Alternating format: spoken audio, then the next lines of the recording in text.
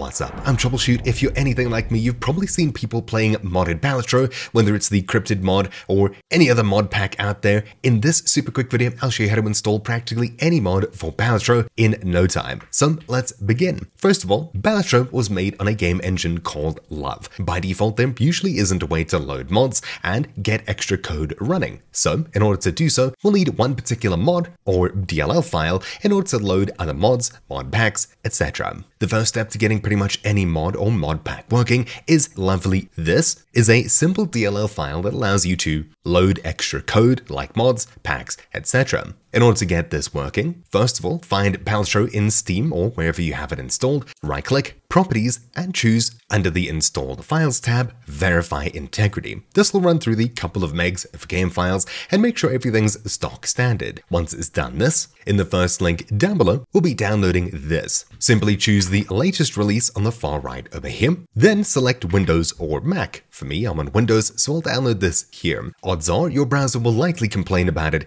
as it's just quite literally a single DLL file in a zip. Regardless, once you have the zip downloaded, just open it with 7-zip, WinZip, or anything, and you'll find a single DLL file inside of it. All you need to do is drag this to where the game is installed. So in Steam, right-click Balatro, Manage, and choose Browser Local Files. Then inside of this new window, simply drag the DLL into here, and that's it. We've now installed the first part of getting any mod working. Then we'll need to actually make a place where the mods will go. At the very top of your file browser, up here, click in a blank space and type in percentage app data percentage backslash Balatro. Just like that, when you hit enter, you'll be dropped straight into your Balatro save and config folder. This is located in C uses your username app data roaming Balatro.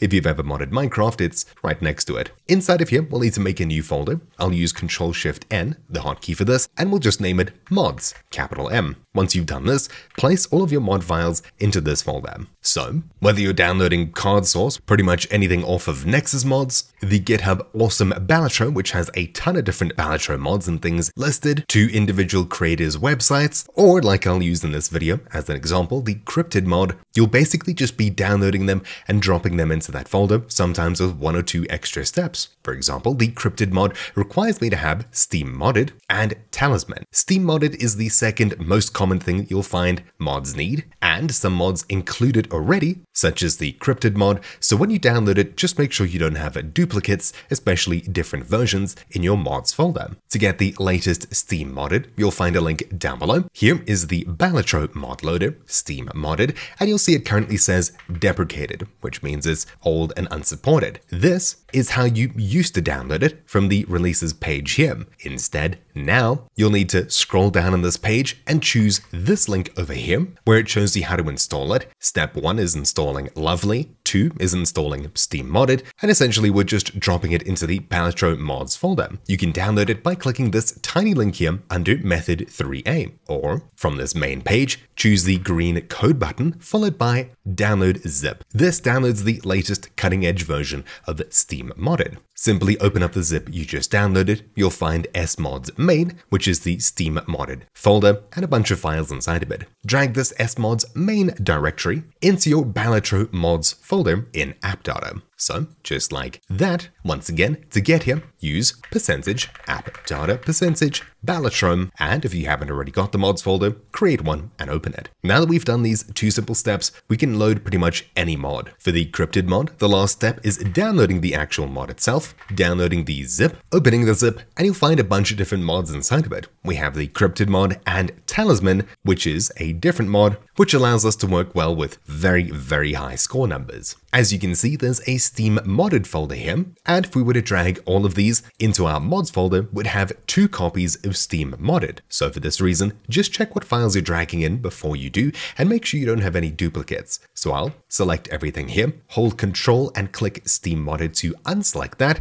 and I'll drag it out into my mods folder. Just like that, we've now installed Cryptid, Talisman, and we have the latest version of Steam modded here. That's it. Now, we've successfully modded Balatro. All you need to do is fire up the game, and this time you'll see something weird happens. When the game starts up, you'll notice a black window appears, which is actually the mod loader.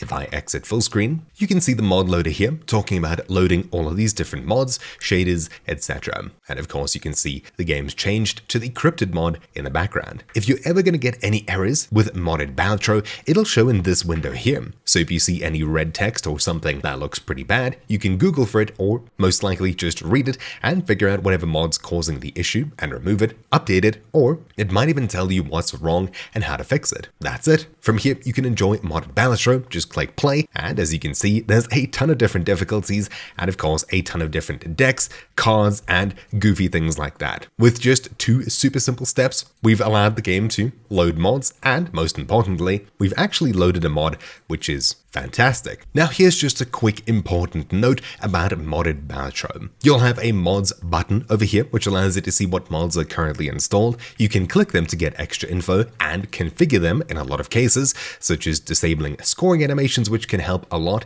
especially with game crashes in goofy high score runs, and on the homepage here, a config button for the mod loader entirely. You can enable or disable Steam achievements here if you wish, though they are disabled by default for modded Balatro runs. Speaking of, as you won't earn achievements for Balatro when using modded Balatro without explicitly enabling it, what happens to your save game? Well, as you can see, I've already got some of these unlocked, and some of them even have progression, such as my work on the Yellow deck over here. What happens to your save game? Well, if you start a run with any of these modded packs over here, and you choose to uninstall the mods, mod loader, or anything like that, and go back to the vanilla version, can you still progress? Well, yes, your save file is actually intact. If we start R or Windows R percentage app data percentage Balatro and have a look here. You have one, which is your profiles, saves, and things like that for the game. And most importantly, in the config folder here, you have different save files for